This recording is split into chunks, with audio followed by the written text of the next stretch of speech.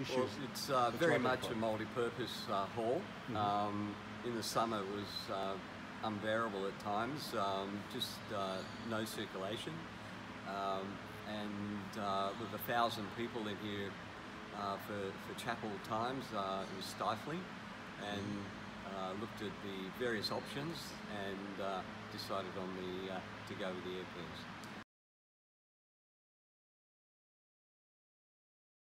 We looked at air conditioning, and that was uh, just too expensive out of our uh, out of our range.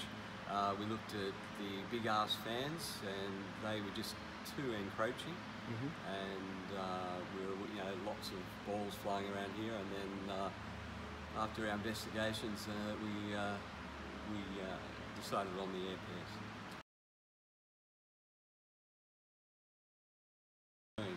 So we've got a Yes. multi-purpose hall in Hall, terms of yeah. you've got stage, so assemblies, exams. Okay. Yep, all of that.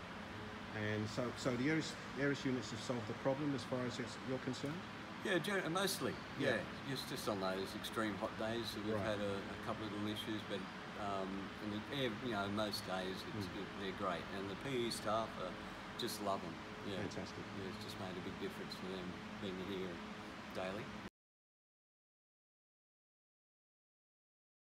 Once we determined where we wanted, where they were allocated, Mhm. um, uh, generally they were they were quite easy to to install.